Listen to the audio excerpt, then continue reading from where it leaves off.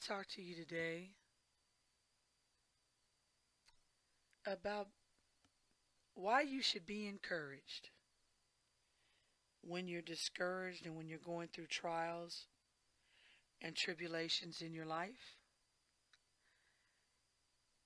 Sometimes it can feel or be extremely difficult to see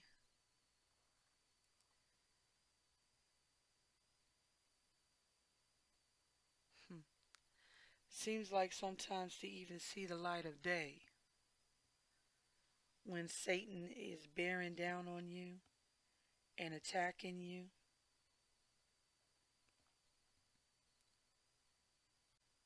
And you're seemingly surrounded by darkness, yes, you are in a spiritual battle. When you feel like you're encompassed with darkness, you need to know the battle beg- began before you even recognized the darkness and before the attack even manifested itself. Your adversary, Satan, had been laying back, waiting, seeking for when he could attack. And it's always with the intent to kill, steal, and destroy.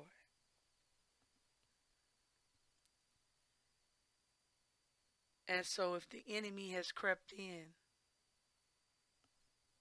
and you are facing the battle of your life, you need to understand and and refocus on the fact that you are rooted in Christ.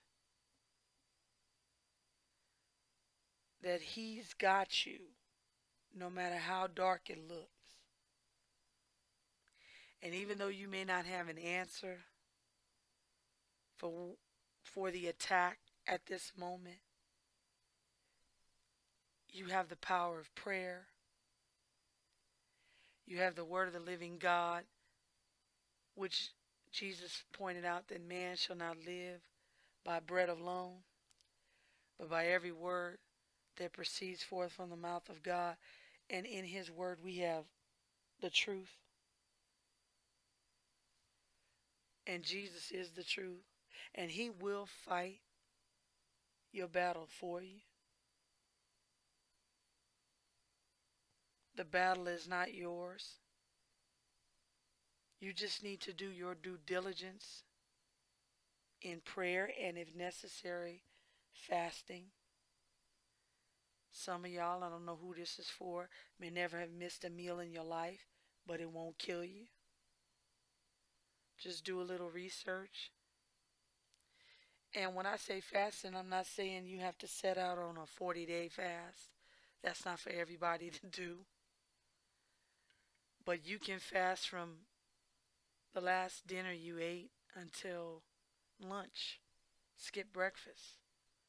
And say, I'm going to take this time to fast and pray. Or you can say, I, I ate dinner at 6 p.m. yesterday. I'm not going to eat until after 6 today. I'm going to fast for a full day and pray to the Lord. There's all kinds of ways you can fast. All kinds of ways you can do it. You just decide for yourself what you're comfortable doing. Seek the Lord. Ask Him. He'll tell you what He wants you to do, how He wants you to fast. Do a little research if you've never done fasting before and see the enormous benefits that also bless your physical body with healing and health. Bible says your health will spring forth speedily. In Isaiah the 58th chapter. Say he'll make fat your bones. And that it will break every yoke. So it's a good idea to look into fasting as one of the things that you can do in your spiritual warfare against the enemy. Most of you are probably familiar with the story of Esther in the Bible. It doesn't take very long to read through if you're not familiar, or maybe even if you are, you may need to do a little refresher and go back through and read the book of Esther and see how the Lord really isn't mentioned in that book. And yet you can see the handiwork of God behind the scenes and how he goes and delivers his people from someone who hated his people and had manipulated the then king at the time to issue a decree against the Hebrews to destroy him.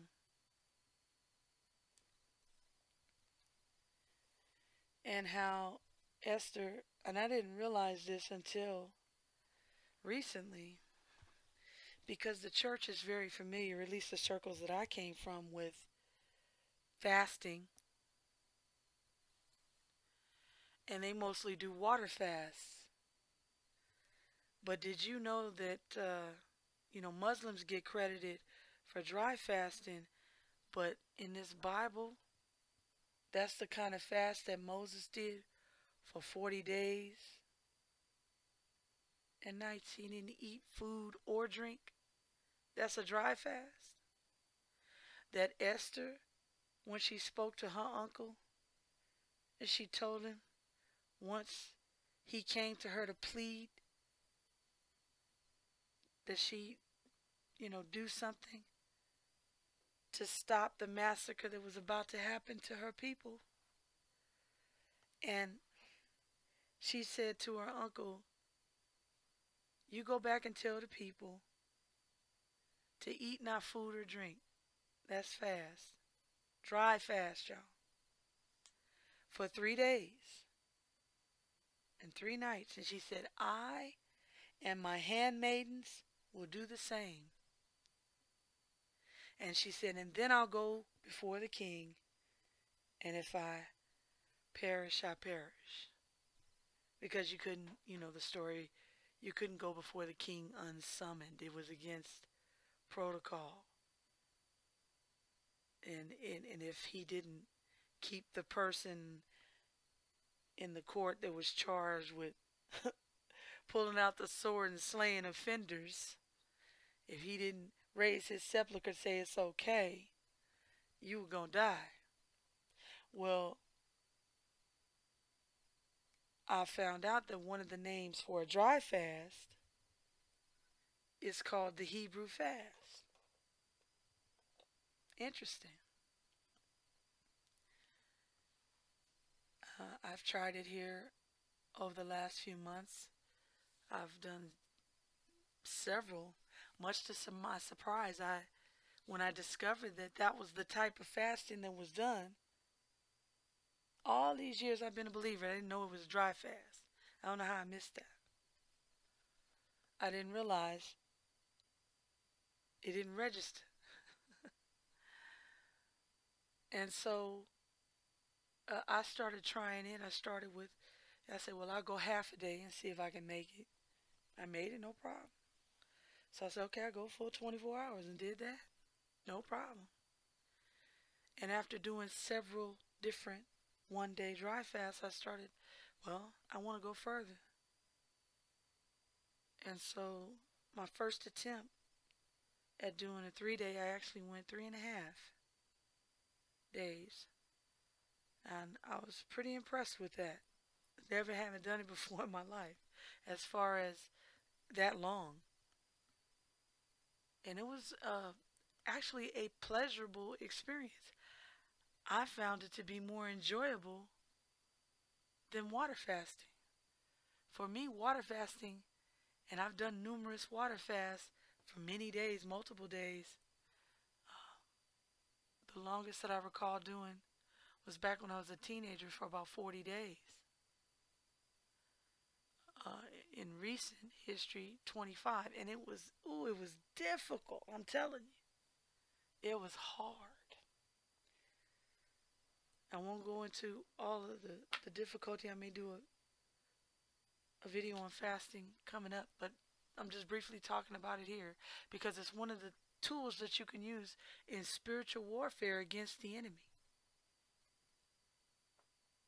We know Jesus fasted and prayed.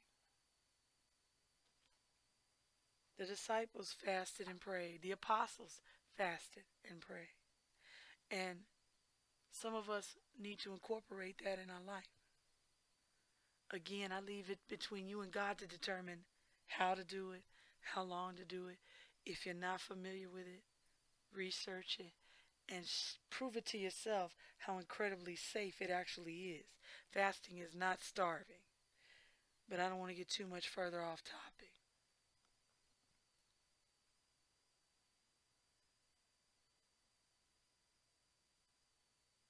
You know, when I was a little girl growing up, there was a song at the particular school I used to sing. Uh, well, we all used to sing when it was called. I actually don't even know if I have the title right.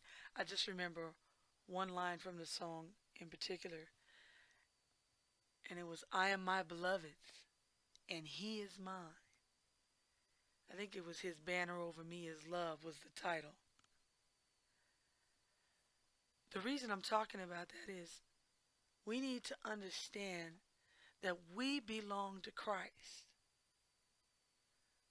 We belong to him and not only, that's critically important, but also that he belongs to us. You know, you see that scripture in the, in the Bible that all the lordship damnation heretics like to use about Lord, Lord. Right? But when you reference, if you see other glimpses of the same picture, uh, where, take for example the ten virgins, the parable of the ten virgins. Five were wise, they were born again. Five were foolish, they were religious, they were not born again. And you'll see where they knocked on the door, the five foolish virgins, after Jesus came and carried away the five wise virgins. And they're knocking on the door and he he answers them, doesn't open the door for them. And he says, I, I don't know you. They don't belong to him. And this is what I keep trying to point out that when concerning, for example, the rapture, which is a biblical doctrine,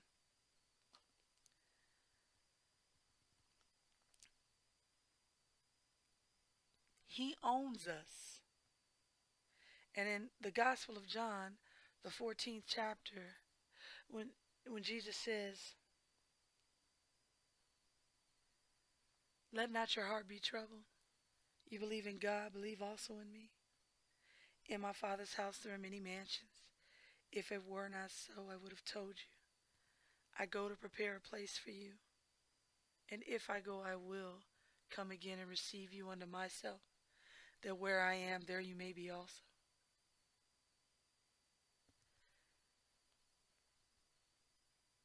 The Bible says he, Jesus is coming as a thief in the night. The reason he is not a thief is a thief takes what does not belong to them.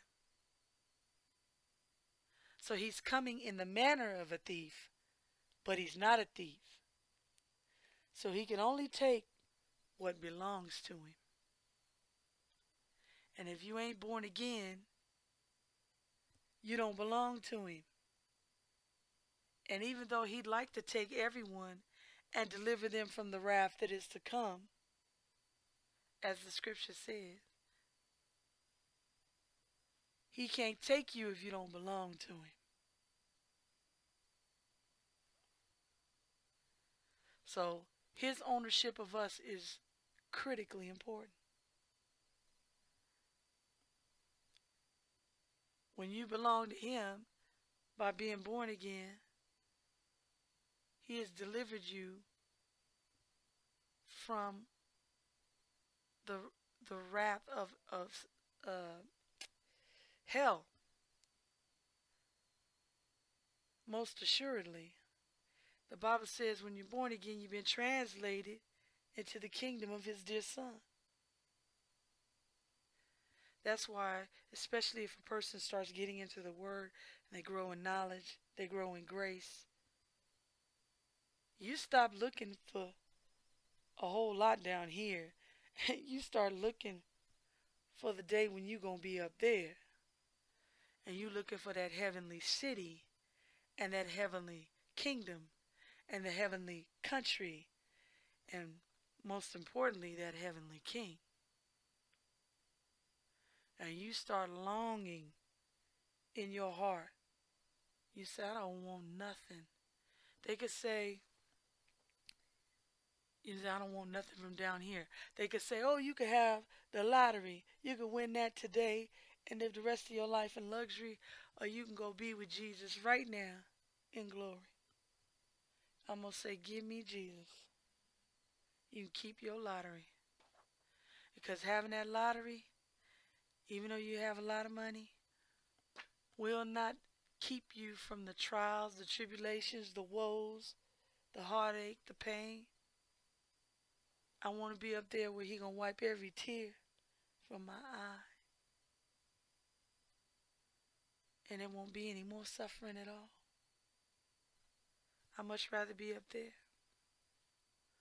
They can have it. The only reason we're still here is to preach the gospel and seek and save that which is lost, and to be ministers of righteousness upon this earth so people can see our good works and glorify the Father in heaven. And hopefully get born again. Because we're supposed to reflect Christ. His light is so bright, the darkness can't comprehend it. And the only way they even have a chance of comprehending God is if we reflect Christ. Don't believe me? Search the scriptures, you'll see that's true.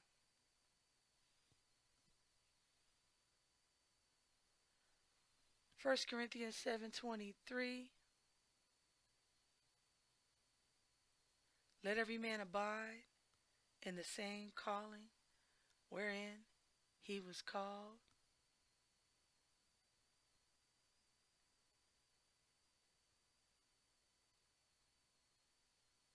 Art thou being a servant, care not for it? But if thou mayest be made free, use it rather. For he that is called in the Lord, being a servant, is the Lord's free man. Likewise also, he that is called being free is Christ's servant.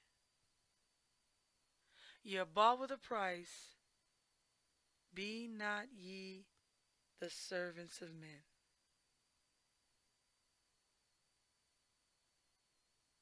Brethren, let every man wherein he is called therein abide with God.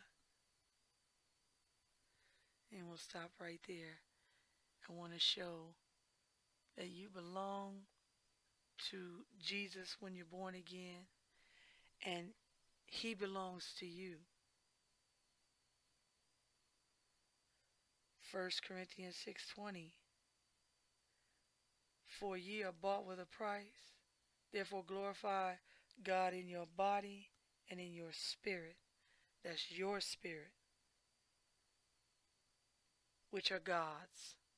G O D apostrophe S, meaning possessive.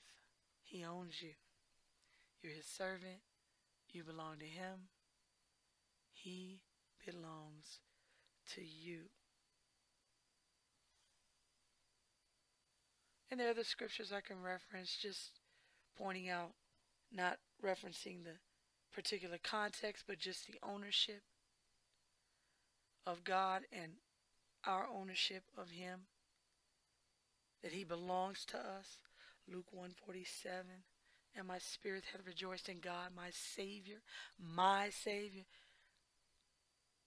1 Timothy 2 3 For this is good and acceptable in the sight of God our Savior. Titus 3 4 But after that, the kindness and love of God our Savior toward man appeared. Okay? And in many other scriptures, the point is, I'm trying to show you that He belongs to us. Just like when you get married and you have children, people don't introduce their husband and their wives as this is a husband or a wife or this is a child or children. They when they're yours, you say this is my husband. This is my wife. These are my children. Ownership. And as much as this wicked beast system we find ourselves in, tries to break up the family unit and that's the goal the goal of the devil to destroy the family because that was created. It is an institution that was set in order by the creator which is the Lord Jesus Christ. And so the enemy comes in and tries to destroy anything that resembles, emulates, propagates the kingdom and what he has set in order man and woman, male and female, the family, the devil despises, and so do his minions, whether they're dirt devils, meaning flesh devils, or spirit devils. They are working in, in league with him. They are emissaries. That means agents of Satan, and they come to kill, steal, and destroy. So when you see that, it is the enemy.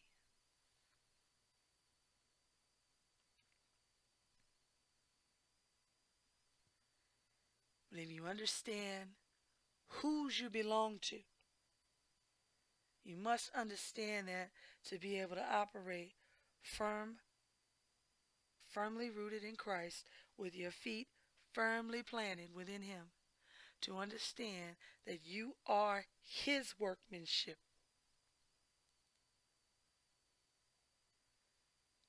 And that you're going to be doing His will. And certainly, one of the things that is a part of his will is for you to engage that old serpent, the wicked one, and make sure that he stays under your feet and that you rebuke, bind, and yes, even curse him. In the name of Jesus, and engage him in spiritual battle. But to do that, you need to know whose you are and who you are in Christ. That's why it's so critically important that a person understand that all of their sin has been paid for. Because when Jesus declared on the cross Tetelestai, paid in full for your sin, all your sins were future. You didn't exist yet and yet it is a declaration by God Almighty. That's Jesus. He is God manifest in the flesh. The Bible says so in numerous places. And he has declared all your sin is paid for. Therefore, you are in perfect position. You are in right standing with God. Positionally, placed there by King Jesus. Immovable. The devil's trick is to get you not to see that, not to understand that, not to comprehend that, and most importantly, not to operate in that. Because when any believer picks up the authority that Christ placed there and begins to utilize it, a cold shiver goes up the devil's back and his minions' back. Because they're like, no, not another one. Not another one. We can't get to sit and watch football all day long. We, not another one that's actually going to engage in prayer and fasting and binding and loosening and cursing. Biblical cursing, as when Jesus cursed the fig tree.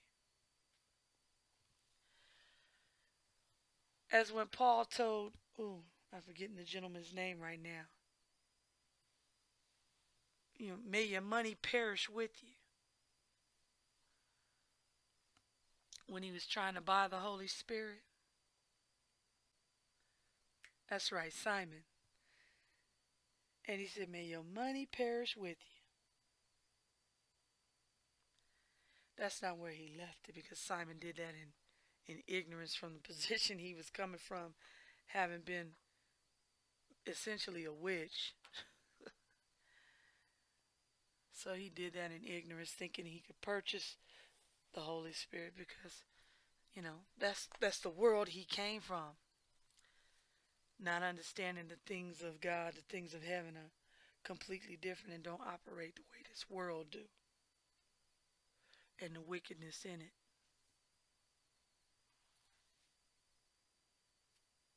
Beloved, be encouraged because even though it may not feel like it, in your darkest hour, in your deepest despair, you still belong to Christ and he still belongs to you.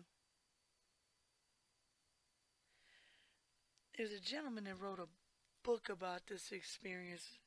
He called it A Dark Night.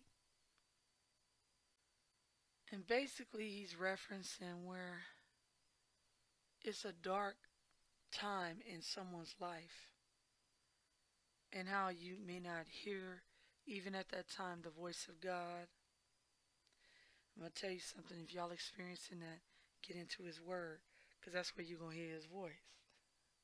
If you can't hear him in prayer, don't stop praying. Number one, just keep praying. And two, get into the word so you will be placed in remembrance of the many promises he's already made. You know, God, while meditation is a good thing, he don't need to repeat himself when he's already declared certain things right here in his word. And all you need to do is reference his word. So when you're saying, well, God, I can't hear you. Why I can't hear you? Get into the book. Hear him through his book. That was so you wouldn't forget. But you see people in this in this book like Joseph. Joseph was probably for for an Old Testament character, for me at least, uh, I have great admiration for Joseph. Because anyone that was a one woman type of guy always gets mad props from me. Because the Hebrews had a habit after Lamech, I was uh, believe it was Lamech, that uh, began that practice of polygamy and anytime I see a one woman man in this book, I always admire him. so that's a, that's a sermon topic for another day. But uh, you see that with, with when he pushed Leah on Jacob. He wanted Rebecca, and he's like, "No, you got to take my older daughter first, right?" Well, Joseph was a type of Christ in the Old Covenant. Jesus wept. Remember when Joseph wept? Over what? When he saw his brothers again? Remember, Jesus wept. There's a whole lot of parallels with Joseph and Jesus.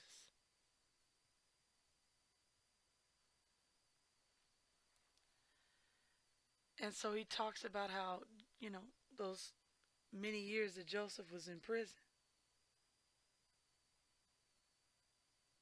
That uh, it wasn't fun. And it must have been, listen, they didn't even have the power of the Holy Spirit. They didn't have speaking in tongues. They didn't have the comforter like we do. And yet, they were still able to manage because of their faith. And he never lost faith. But he did go through some serious trials. Anyway, let me see if I can find the title of that book if you want to check it out.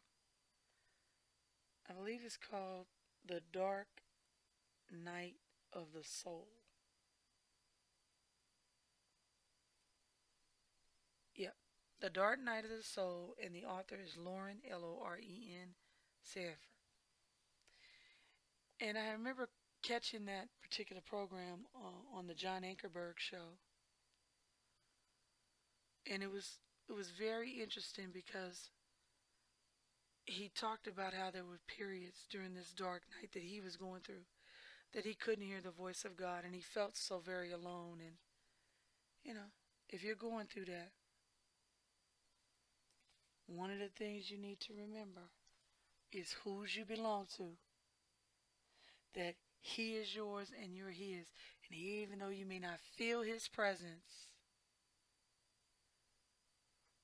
he's there he's yours and you're his and that he will get you through